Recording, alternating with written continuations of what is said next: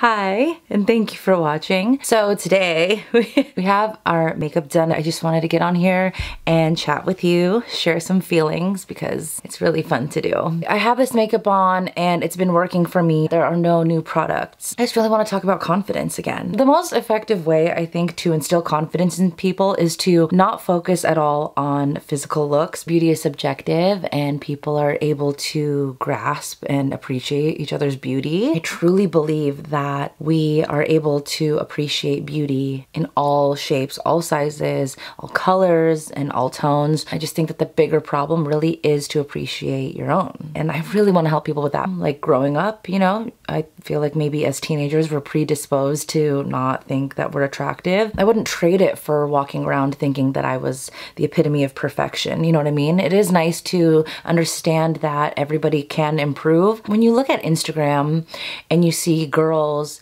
who have pretty much reached physical perfection. For example, Kylie Jenner, I don't see her as crazy confident or anything like that. You know, if anything, she speaks a lot about anxieties and that's not something that a BBL would fix or any amount of makeup or beauty procedure would fix. Confidence is just so much deeper than what you look like. But I do think it's important for women to take some time and actually appreciate what they have going, so we could talk about that first. If you know a person or you see a celebrity and you just think that they're the most perfect and beautiful person, that's okay. It's totally fine to appreciate beauty. That's actually so sweet of you to do. But luckily, there's not a finite amount of beauty in the world. You know what I mean? Like, if this person is a 10 on 10, it doesn't mean that you can only be a 9 or below. There can be all 10 on 10 beauties, you know? I personally don't consider it a goal to be the most beautiful because it's subjective. Like, I put myself together in a very specific way that makes me happy. But at the end of the day, with all of this effort,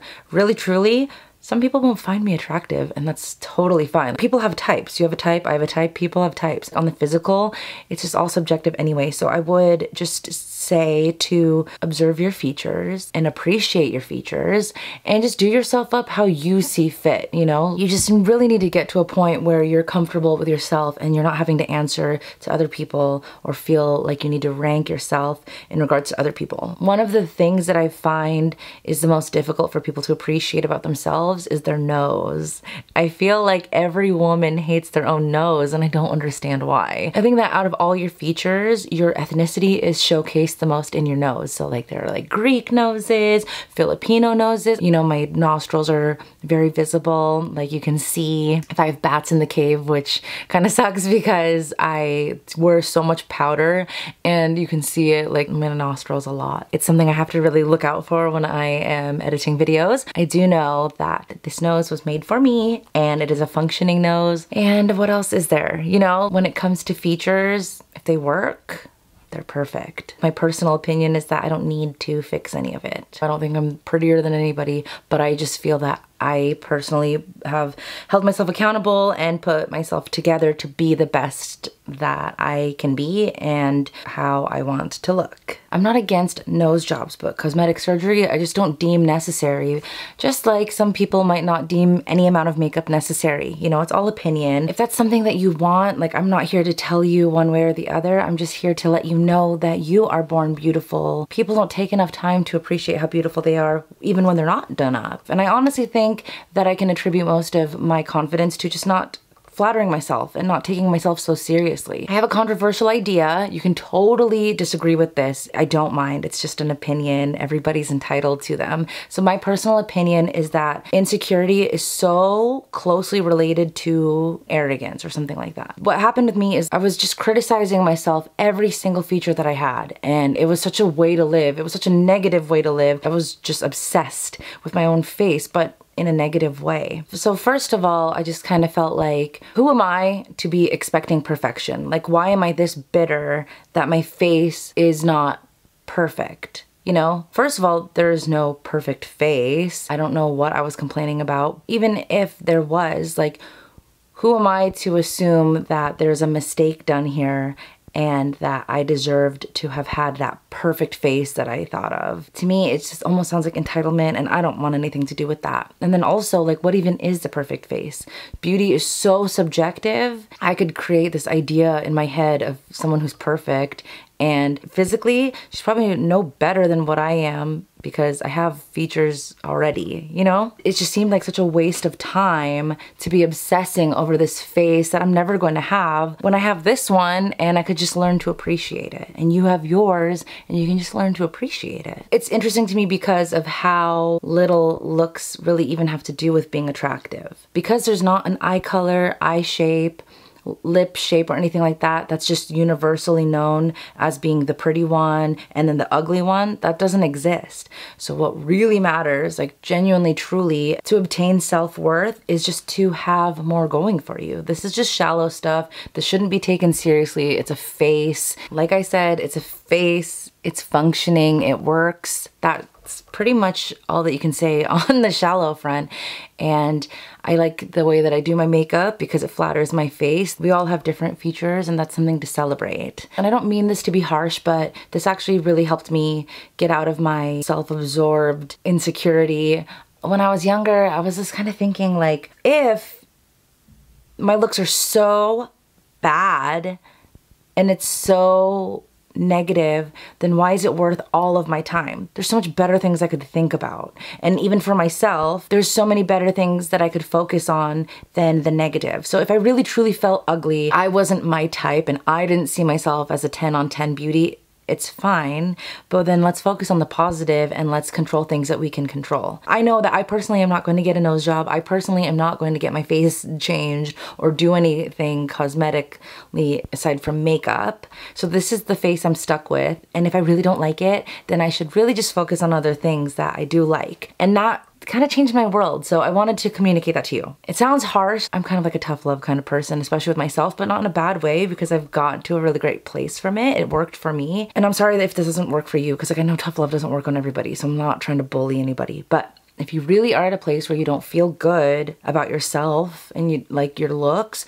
then focus on the things that you do feel good about and just like let that simmer for a minute. Like you'll come to terms with the fact that you don't think you're pretty in a second. And then secretly when you work on the other stuff, you do actually fix that. So move that aside and focus on really important things. Probably every time I talk about confidence, I talk about like my accomplishments and all that. And I'm not trying to brag. My accomplishments were super personal and they're not even like the goal for the masses because it also is subjective too. And because my goals were specific and things that I personally sought out to go do, when I accomplished them, they made me happy. But there's no cookie cutter goal for anybody, man, woman. This also is subjective. Some people could look at my life and deem me a failure. I'm 31, I'm not married, I don't have children. It's not up to how other people are viewing you, it's up to yourself. So when I took a break from obsessing about the shallow parts of who I am, you know, being like what I look like and all that, when I decided to focus on tasks at hand, when you start to accomplish those, it's pretty inevitable that you're going to achieve some levels of confidence that you probably wouldn't have just by, you know, fixing your face. I don't know. I don't know. What do you think? Do you agree? I personally achieve goals and it just makes me feel better. Like I said, they're subjective. People could look at my goals and they're not in line with their personal goals, but whatever. Looks are just preference. So there's not an actual rank that I would ever subscribe to. And goals are so personal that I wouldn't really care whether people agree with what I've got going in my life or not. But another thing that I think is very important is just your contribution to society. So I think that, um, I think it was Jordan Peterson was saying it's like you have a moral obligation to be your best self and that would do well in your community and all that. I'm not saying be a people pleaser and I'm not saying like conform to other people's way of thinking or anything like that. Internet trolls or mean people in public settings, those people who speak out and rage, those are not confident people. You know, I don't care if I have my idea of the perfect body. I don't care if I reached all of my goals, my personal goals, financial goals, career goals, if I was the kind of person who deemed it appropriate to be an internet troll, or if I was rude to people, or if I put people down, I would never feel confident. And I don't know which one comes first. Do the people act like that because they don't feel confident? Because I know that acting like that wouldn't make you feel confident. So do they act that way because they're not confident? I'm not really sure. But I think that the best thing you can do is just work to be a nice person. Like I said, I'm not saying be a doormat. You can definitely have boundaries. You can definitely have opinions that are opposite of other people. Religion, politics, lifestyle choices, and all that, even shallow things like movie choices. You don't have to have things in common with people to get along with them and to socialize well. It is nice to be always polite to people. You can have tact. If people come at you with their opinions that you don't agree with, it's not an excuse to act a fool, you know, like you can still have tact all the time. And to be someone who holds himself accountable and has etiquette, that is way more attractive than any chin shape that you could ever have. You know what I'm saying? I hope this helped. You know, I just think that there's such a lack of confidence going on in the world right now. It's almost like it's contagious. You know what I mean? Like people who are insecure, they love to keep people down and I don't know why. I don't understand what that would accomplish. Like, wouldn't you rather lift yourself up instead of keep people down? Like, if you want to be on the same level of people, if you feel like someone's above you, then wouldn't that be motivating to reach that level too? I don't understand the point of bringing people down. I'm always going to do stuff like this. I'm always going to try to empower people. I can't think of one negative side effect from people having confidence. So I'm always going to try to uh, instill it in people who take the time to watch these videos. Everybody's beautiful. And I think that people just need to take their own time and appreciate their own beauty. It's really difficult to do on here, like I said, but um, I'll do what I can because it is really important to relay this message. I want people to feel really good about themselves and for you to know how beautiful you are. And I want you to know that you can accomplish things and you are worth so much more than the negative comments that you have for yourself. I have makeup videos on my channel and like unboxings and stuff as well, but I like to get down to the nitty gritty sometimes. So thank you for watching and I will see you in my next video.